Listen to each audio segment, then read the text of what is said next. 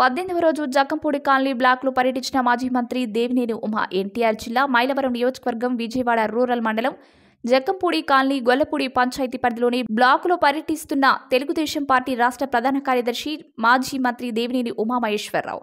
ఆత్మీయ సమావేశాల కార్యక్రమంలో భాగంగా జక్కంపూడి కాలనీలో పద్దెనిమిదవ రోజు మాజీ మంత్రి దేవినేని ఉమా పర్యటన. కాలనీలో సమస్యలను మాజీ మంత్రి దేవినేని ఉమాకు వివరిస్తున్న కాలనీలోని స్థానికులు మహిళలు. మేము కలిసి కూడా వచ్చామండి చంద్రబాబు నాయుడు గారిని. చూడండి అంత కష్టపడి వీళ్ళ కష్టానికి ఆ భవనాలు ఫలితం కలిసి కష్టానికి వాళ్ళు అడిగిన వాళ్ళు ఆ రోజు వాళ్ళు అడగబట్టి ఆ ఇల్లు ఆయన కట్టాడు. ఇవాళ అన్నీ కూడా గంజాయి తాగిస్తున్నాం అక్కడ. పాటు పెట్టాం. వీళ్ళు నెలకి మూడు వేలు కడుతున్నారు. నెలకు నాలుగు వేలు కడుతున్నారు. లక్ష ఇరవై వేల నుంచి లక్ష అరవై వేలు ఆడకూతురు నష్టపోతే ఏం చేస్తున్నాడు? పోలీస్ కమిషనర్ ఏం చేస్తున్నాడు? సిగ్గుపడాలి యంత్రాంగం అసలు ఏ మాటగా మాట్లాడతారు ఇక్కడ?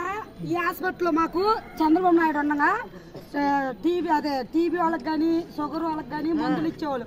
ఇప్పుడు ఏ మందులు కనీసం వెళ్ళా కానీ హాస్పిటల్లో ఉన్న కుక్కను కసినట్టుగా చెప్తున్నారు. అమ్మ కాలుకుంది అమ్మ పడిపోయినమ్మ లేవు. ముందు అసలు ఏ మందులు కూడా ఇవ్వట్లా ఐదింటికల్లా కట్టేసి వెళ్ళిపోతున్నారు. ఆయన ఉండగా ఎనిమిదింటికి కట్టేవాళ్ళు.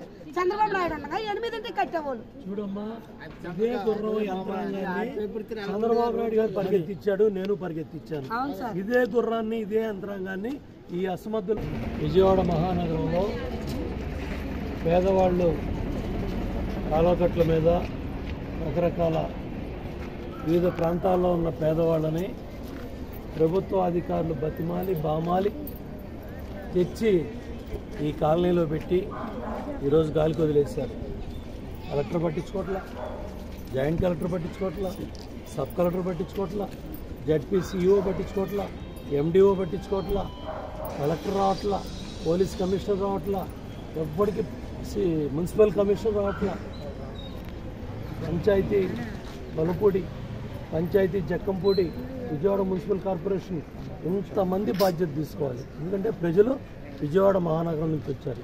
భూభాగం మైలవరం నియోజకవర్గం మండలం విజయవాడ రూరల్. గ్రామాలు అటు జక్కంపూడి ఇటు గొల్లపూడి. ఒక ఇట్లా ఇంత బాధపడతా ఉంటే దోమలు కొడుతున్నాయి పగలు కుడితేనేమో డెంగ్యూ వైరల్ ఫీవర్స్. రాత్రిపూట కొడితేనేమో మలేరియా జ్వరాలు. మహిళా ఎస్ఐ అని పంపించావు. అంతే తప్ప ఇక్కడ మూలాలు ఎక్కడ ఉన్నాయి? ఎక్కడి నుంచి గంజా వస్తుంది? ఎందుకు ఇంతమంది పిల్లల్ని ఏ విధంగా మార్చాలి? ఇప్పుడు ఈ బ్లాక్లో పిల్లలు ఉన్నారు. మన బ్లాక్లో ఎవరో కూడా కాకుండా మన ముప్పై రెండు కుటుంబాలు ఓ బాధ్యత తీసుకోవాలి. అందరూ కలిసిమెలిసి మాట్లాడుకోవాలి. ఆ విధంగా ఏ బ్లాక్ ఆ బ్యాగ్ బ్యాక్ మనం కూడా జాగ్రత్తలు తీసుకొని పిల్లల్ని కట్టడి చేసుకొని బయట నుండి వచ్చే వ్యక్తుల్ని కట్టడి చేయగలిగితే ఈ కాలనీకి ప్రశాంతత ఉంటుంది. ఈ మాత్రం ఇంగిత జ్ఞానం కూడా యంత్రాంగానికి లేదా. ఎందుకని మీరు ఉద్యోగాలు చేసేది? ప్రజలు కట్టే పన్నుల్లోంచి లక్షల లక్షల జీతాలు ఇస్తున్నాం బాధ్యత ఇన్ని రోజులు నేను గుర్తు చేయాలా? ఏదో పదివేలు ఇవ్వాలమ్మా. ఇవ్వాలమ్మా. చేస్తామా అని అన్నాను. సచివాలయం. ఏ సచివాలయం? నెంబర్ ఏమన్నా గుర్తుందా? ఎక్కడది? అక్కడ వాళ్ళకి నెంబర్లు ఉంటాయి. నాలుగు మూడు రెండు. బ్లాక్ దగ్గర. వాళ్ళ పేరు ఏమన్నా తెలుసమ్మా? పేరు. పేరు తెలుసా? సరే సరే. వాళ్ళ పేరు. చెప్పావు తల్లి ధైర్యంగా సంతోషం. గ్యాస్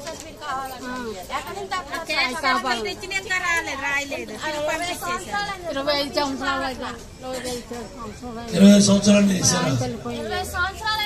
ఇరవై. ఇరవై కాలిపోయి పోయింది కూర్చో కూర్చో. తల్లి కూర్చో. అలాగే.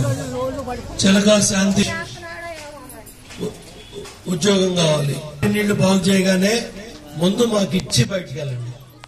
మా కోసం చంద్రబాబు నాయుడు గారు కట్టాడు. ఇక్కడ ఆరు వందల నలభై అక్కడ అరవై నాలుగు ఇంకో అరవై నాలుగు పూర్తి చేసుకోవచ్చు. అంటే దగ్గర దగ్గర ఏడు వందల అరవై ఎనిమిది ఇళ్ళు వచ్చి ఇక్కడ. ఎంతమంది ఉంటారమ్మ? సరిపోతాయి చాలా మందికి టేకే అమర సీతారామచారి అమ్మ మాధవి. ఉన్నారు కదా? బిరుదకోట రాజేష్. వందల నలభై ఒకటిలో తొమ్మిది మంది. అదేవిధంగా రెండు వందల నలభై రెండులో పద్నాలుగు మంది ఇన్ని బాధలు పడతా ఉంటే నువ్వు ఆ ఇల్లు పాడు పెట్టి నువ్వు గంజాయి తాగిస్తున్నావు.